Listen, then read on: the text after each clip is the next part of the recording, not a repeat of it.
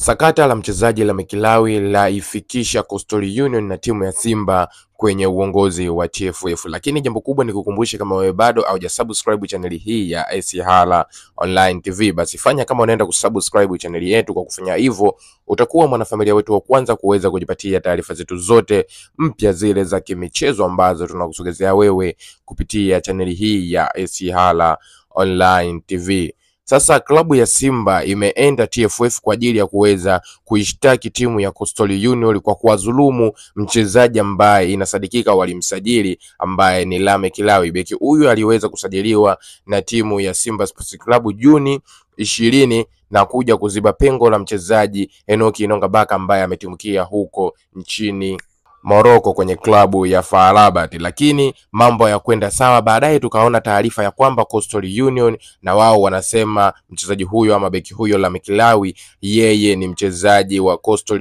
Union na sio mchezaji wa timu ya Simba Sports Club, na mpaka hivi sasa beki huyo la Mikilawi bado yupo kwenye viunga vya Coastal Union ambaye anafanya mazoezi na maandalizi kwa ajili ya msimu mpya wa elfu mbili na ishirini na nne elfu mbili na ishirini na tano. Kwa hiyo timu ya Simba Sports Club wao wameona isiwe tabu, wamepeleka sakata lao kwenye uongozi wa TFF kwa ajili ya kuenda kutafuta haki yao ambayo wanaona wamezulumiwa na timu hiyo ya Coastal Union baada tu ya beki huyo la Mikilawi kuendelea kusalia kwenye klabu ya Coastal Union, wakati Simba wao walikwisha weza kumsajili na kuweza kumtambulisha kwenye mitandao mbalimbali mbali ya kijamii. Sasa muda wowote kuanzia sasa, shauri hilo ambalo limeweza kupelekwa TFF linaweza kutangazwa ni lini linaweza likasikilizwa na tukajua ukweli ni timu gani ambayo inastahili kummiliki mchezaji huyo la Mikilawi, aidha timu ya Simba Sports Club ama Coastal Union ambao hawa nao wanadai mchezaji huyo la Mikilawi bado